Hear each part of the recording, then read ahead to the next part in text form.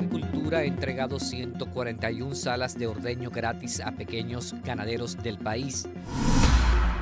República Dominicana cerrará este año por encima de los 10 mil millones de dólares en términos de exportaciones. El Servicio Nacional de Salud fortalecerá los servicios de salud en Samaná. El gobierno ha entregado 225 mil computadoras a estudiantes del país. El país recibe esta semana 32 mil visitantes en siete barcos de cruceros. El presidente Medina envía proyecto de ley de los cuerpos de bomberos al Congreso.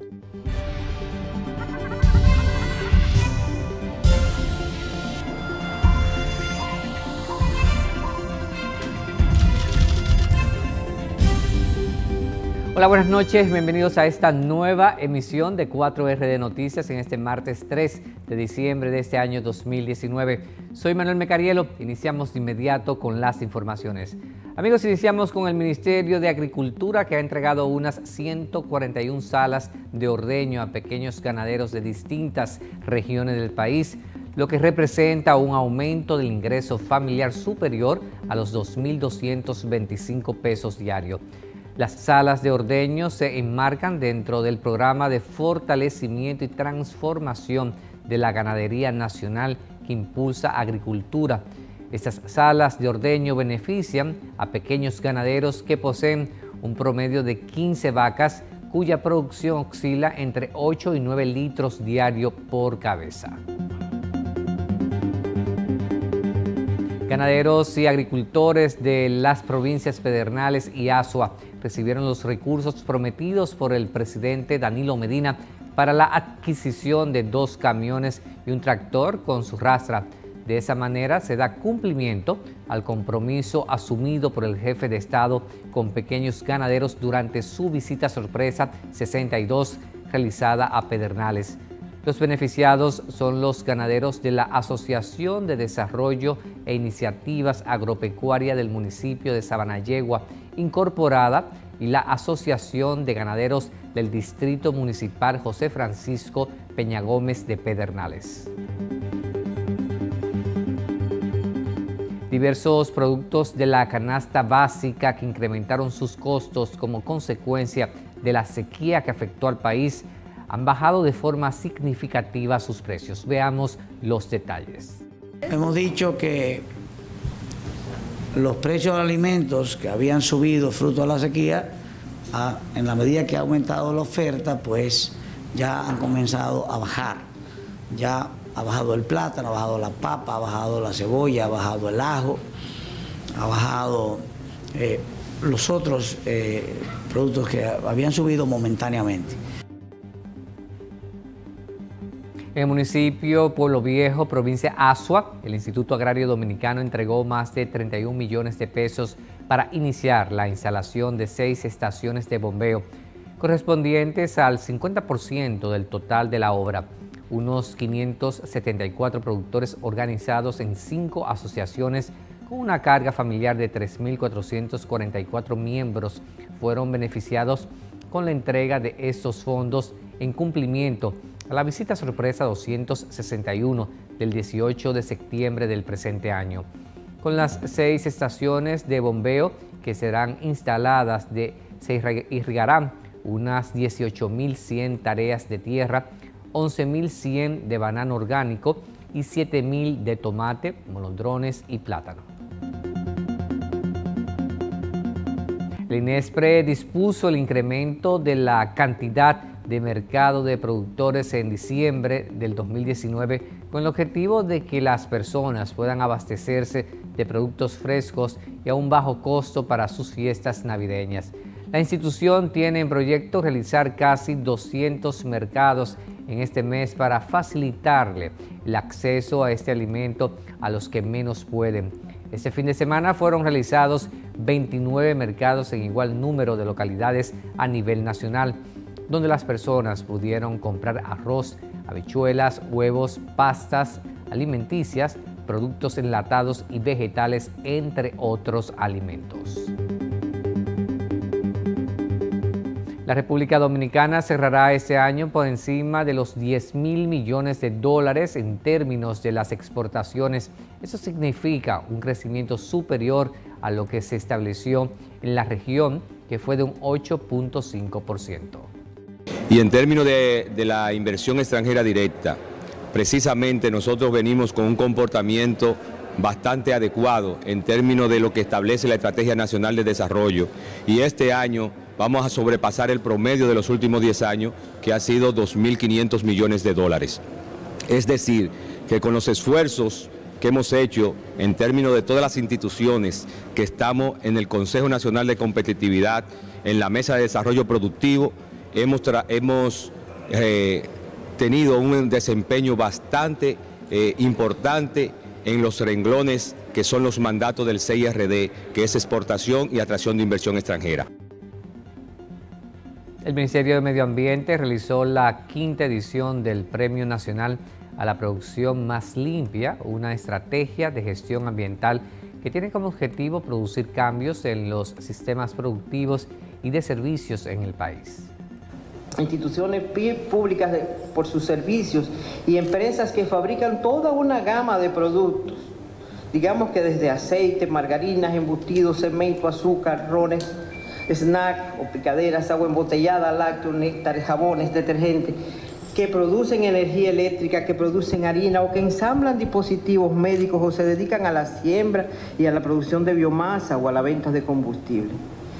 Es decir, también tenemos eh, eh, galardonados de destinos de servicio y hotelería y servicios aeroportuarios, porque precisamente estamos trabajando intensamente con la, con la parte hotelera con otros programas que tenemos. Todas ellas tienen algo en común.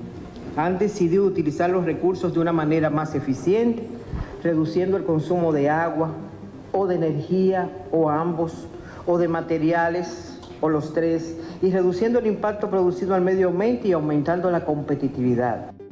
La iniciativa busca además lograr una producción y consumo responsables por parte de las empresas, entidades e instituciones públicas y privadas así como de la población en sentido general, reduciendo el impacto producido al medio ambiente y su, aumentando también su competitividad. Y a propósito de este tema, recordamos que el presidente Danilo Medina manifestó en la Cumbre Mundial del Clima que República Dominicana se encuentra dedicada a cumplir la meta de reducir en un 25% las emisiones antes del año 2030. Veamos los detalles. Nuestro país se encuentra intensamente dedicado a cumplir la meta de reducir en un 25% las emisiones antes del año 2030 tomando como base las emisiones registradas en el año 2010. Aceleramos el paso porque estamos decididos a alcanzar la neutralidad de carbono para el año 2050. Para lograrlo, hemos puesto en marcha toda una serie de iniciativas, entre las que destaca el programa de reforestación más ambicioso de la región. Estamos avanzando con fondos propios y con el apoyo del Banco Interamericano de Desarrollo en la reforestación de más de 767 mil tareas de tierras que permitirán recuperar las cuencas de los ríos. También las energías renovables son nuestra prioridad. Por eso hemos instalado 604 megavatios en energía hidráulica, solar y eólica, equivalente al 25% de la matriz energética del país y tenemos como meta llegar al 32% en el año 2023. Con los proyectos implementados por el Ministerio de Medio Ambiente en el marco de la Estrategia de Producción de Agua Más Limpia, el país exhibe grandes logros. Veamos los detalles. También se ha logrado reducir 326 toneladas de residuos plásticos al año, 64 toneladas de cartones que ya no van a los vertederos o a los ríos de nuestro país. Y, vamos, y usamos nuestro sol.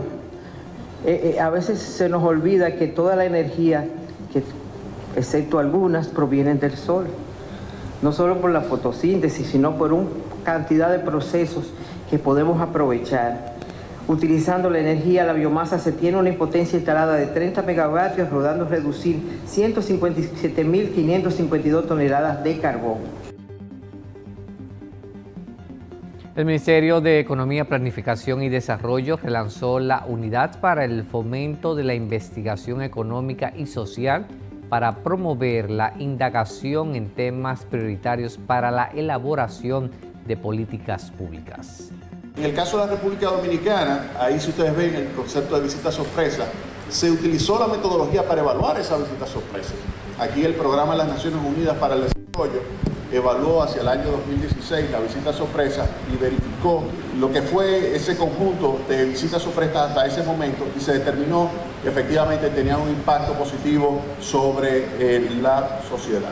Hay problemas y hay avances en muchos sectores y acá solo estoy mencionando algunos de ellos. Por supuesto, el primero es educación, que es el tema en el que yo trabajo. Hay avances increíbles a lo largo de los países en temas de educación, particularmente en cobertura ha aumentado significativamente la cobertura educativa en los últimos años y esto ha permitido que el número de años de educación de las personas en América Latina haya avanzado. Y el CIES es un concurso que busca fomentar un segmento con mayor educación, con mayor experiencia eh, laboral, que, pero que igual tiene ese conocimiento, tiene el potencial de hacer buenas investigaciones que se conviertan en buenas políticas públicas. Las relaciones comerciales entre República Dominicana y Colombia avanzan gracias al intercambio bilateral que se ha sustentado entre, en tres pilares esenciales para ambas economías como son exportaciones, inversión y turismo. Estamos hablando de que a Colombia están llegando más o menos 60 millones de dólares de inversión dominicana y están llegando 300 millones de dólares de Colombia a la República Dominicana en materia de inversión. Por eso señalaba el valor de esos 20 mil empleos directos aquí en la República Dominicana, pero también del interés que tiene Colombia, que lo ha expresado nuestro embajador Cabrales aquí presente, para que, se, para que llegue además inversión en turismo, llegue ese know-how de hacer turismo dominicano a nuestro país. Y con el fin de fortalecer las relaciones diplomáticas de República Dominicana con Vietnam y la República Popular China, el ministro para Política de Integración Regional, Miguel Mejía, realiza un periplo por estas naciones asiáticas. Miguel Mejía inició su agenda de trabajo y se reunió con la diputada Nguyen Phuong, quien también se desempeña como presidenta de la Unión de Organizaciones de Amistad de Vietnam. En el encuentro, el ministro dominicano destacó que desde el establecimiento de las relaciones diplomáticas en el 2007 se han reflejado un balance positivo. Abogó por incrementar aún más las relaciones comerciales de amistad y solidaridad para ambas naciones. La República Dominicana y Colombia fortalecen sus relaciones económicas. Veamos los detalles. Hoy damos un nuevo paso hacia adelante en las relaciones económicas, comerciales y de amistad que tenemos con nuestro país hermano de la República de Colombia. Durante los 113 años de relaciones diplomáticas que existen entre ambas naciones, hemos tenido la oportunidad de crear un marco de trabajo en las relaciones bilaterales que abarcan temas de cooperación, comercio, inversión, turismo y asuntos culturales, entre otros. Entre nuestros países hay un fluido diálogo político permanente, apoyo mutuo y ahora vamos a incrementar el comercio bilateral y la inversión de Colombia hacia nuestro país que como tal usted expresaba ya es muy significativa en este momento. Lo que estamos construyendo aquí es en beneficio del desarrollo del sector productivo de los dos países y a través de eso en beneficio de los ciudadanos, del bienestar de nuestros pueblos, de la generación de empleo. Aquí estamos construyendo un punto de partida a partir del cual se va a poder atraer más inversión colombiana a la República Dominicana. Autoridades turísticas de Colombia desean tomar el modelo turístico del país para replicarlo en su país. Hay una gran cantidad de exportaciones de lado y lado pero sobre todo venimos a construir alrededor de sectores de donde podemos aprender, el sector del turismo. Somos admiradores del esfuerzo turístico que ha tenido la República Dominicana. Queremos aprender de esa experiencia, atraer inversión dominicana al turismo colombiano. La República Dominicana invirtió más de 3 mil millones de dólares en el sector turismo en los últimos ocho años. Es el segundo país de la región con mayores ingresos por turismo. República Dominicana es desde hace años uno de los principales focos turísticos de América Latina, con una población que no alcanza los 12 millones de habitantes. El país caribeño recibió el año pasado 6.6 millones de turistas internacionales que generaron unos ingresos superiores a los 7 mil millones de dólares. Esta semana la República Dominicana recibe siete buques de cruceros con capacidad en general, pasajeros y tripulantes de unos 32 mil visitantes, dando continuidad a la cuarta semana de la temporada oficial de cruceros en el país. Puerto Plata tiene programada la llegada de cuatro barcos con una capacidad máxima de 14.122 pasajeros y 4.802 tripulantes, totalizando 18.924 visitantes. El puerto de La Romana recibirá tres barcos con una capacidad de 10.110 pasajeros y 3.037 tripulantes, para totalizar 13.147 visitantes. Continuamos con más informaciones. Amigos, iniciamos este bloque con Pedernales y Barahona y es que 9.000 estudiantes de, provenientes de distintos centros educativos de estas provincias, es decir, Pedernales y Barahona, recibieron las computadoras que usarán como un complemento en el proceso de enseñanza-aprendizaje. Las computadoras forman parte del proyecto que impulsa el gobierno a través de República Digital y del programa Un estudiante, una computadora. Con la entrega de estas 9.000 computadoras, el Ministerio de Educación supera las 225.000 computadoras entregadas a igual número de estudiantes de todo el territorio nacional. La República Dominicana será el primer país de América Latina en tener una ley de cualificaciones, la que permitirá luego de su aprobación la plena implementación del marco nacional de cualificaciones y otros elementos del sistema como aseguramiento de la calidad, estudios prospectivos y certificación de aprendizajes fuera de la educación formal, entre otros. Veamos los detalles siempre estaremos volviendo a las aulas. Entonces, por eso es tan importante abordar temas como el Marco Nacional de Cualificaciones, que son instrumentos que permiten ese tránsito entre las distintas aulas de nuestra vida en los sistemas educativos. Propongo esta agenda, primero, cuáles son las razones para crear un marco de cualificaciones. Segundo, cuáles son los antecedentes, cómo República Dominicana llega hoy en día a ser el primer país que envía una ley de cualificaciones al Congreso en América Latina y será uno de los primeros países en América Latina en tener articulado su sistema de cualificaciones.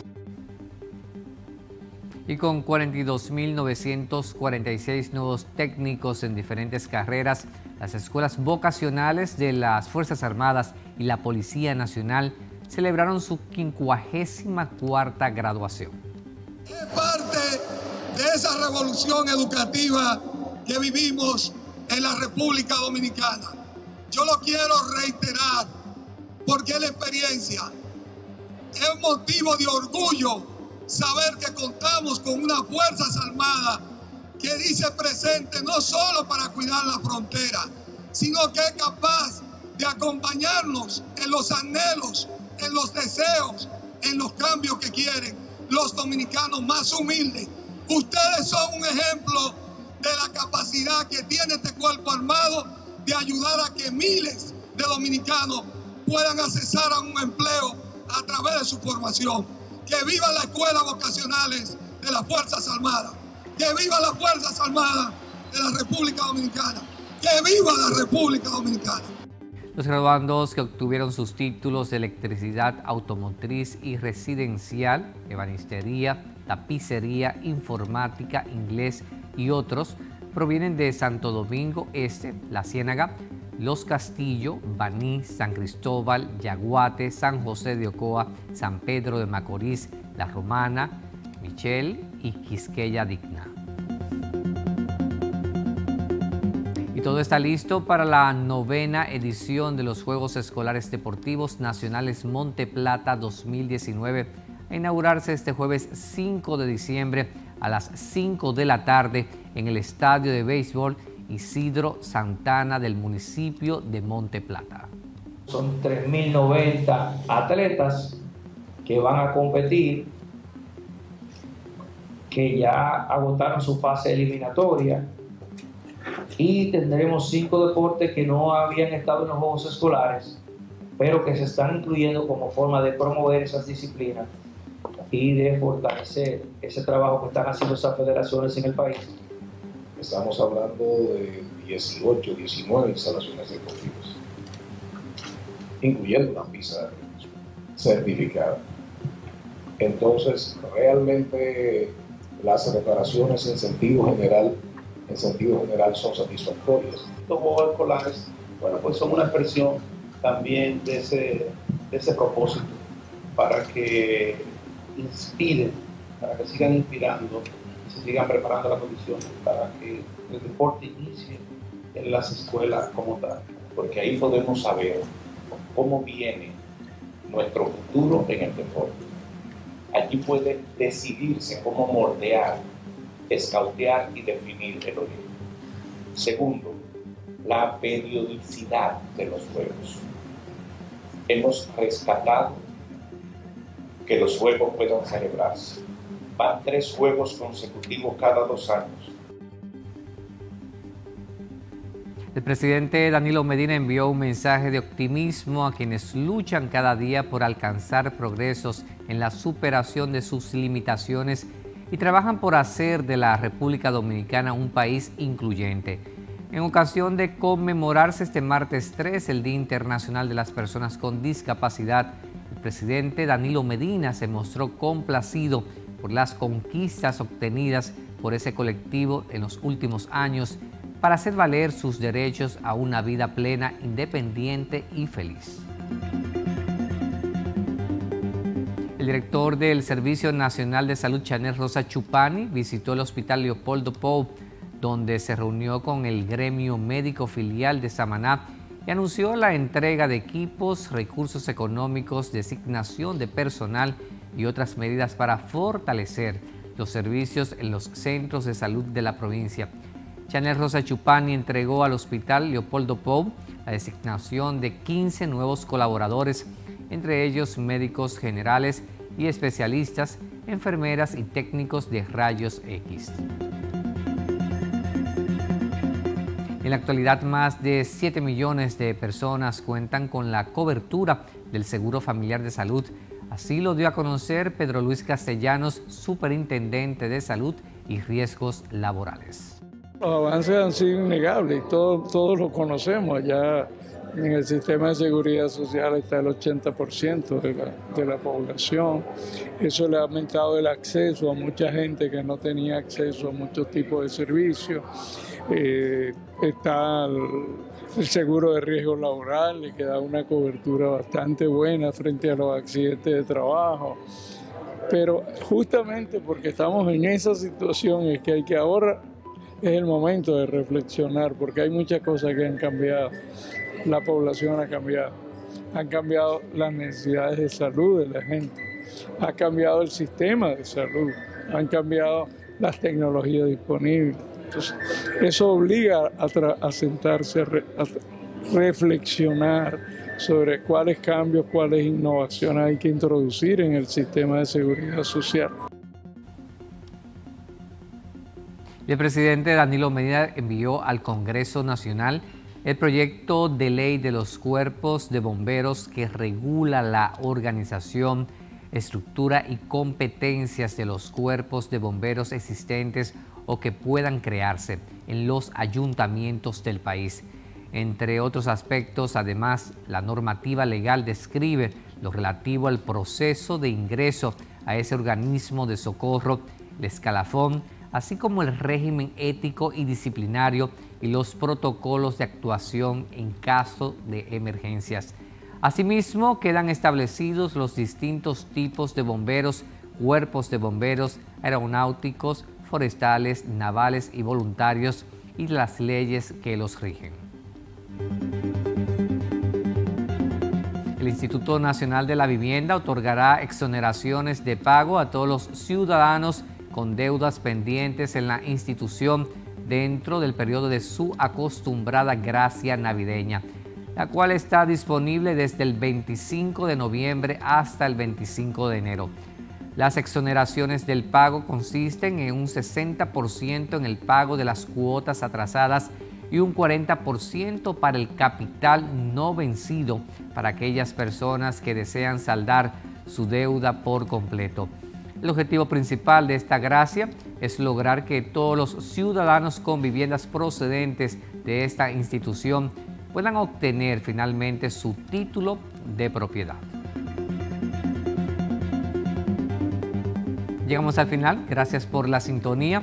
Nos reencontramos mañana en otra entrega más de 4RD Noticias. Pase bonita noche, les acompañó Manuel Mecariel.